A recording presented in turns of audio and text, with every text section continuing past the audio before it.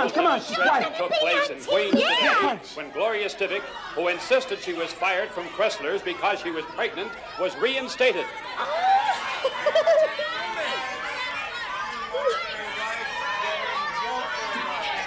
Oh, Gloria, there you are. Oh, you're on TV. Oh, there's Mr. Crenshaw. Look at him.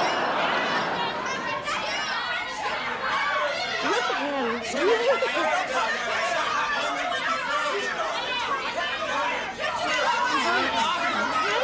The police were called. Officers Davis and Harris responded.